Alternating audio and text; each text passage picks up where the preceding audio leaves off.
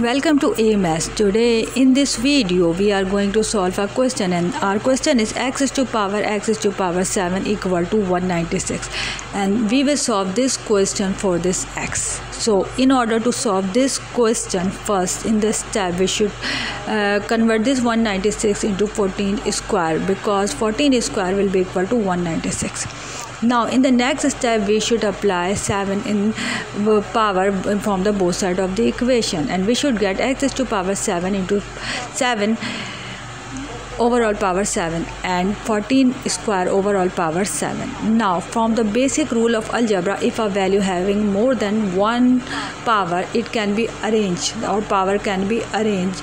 Um, so here we arrange the power as x is to power 7 overall power x is to power 7 and this power which is 2 will multiply with this 7 because as we know that if a value having a power of a power then both power will multiply together. So we will multiply this 2 with this 7 and we will get 14 is to power 14 now from the basic rule of algebra if a value having uh, having the same power or mm, value and power are same on the both side of the equation. It means that if a value a having a power a and b having a power b it means that power and coefficient are same and power and values are same on the both side of the equation then it will approach as a equal to b or it can be taken as e a equal to b. It means that if the power having uh,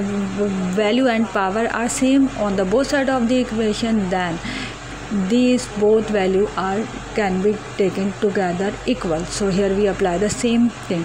We can see that x is to power 7 having a power x is to power 7 and 14 having the power 14 it means that both values ha having the same power so here we can take in as x is to power 7 equal to 14 from this basic rule of algebra. Because this approach is to this one.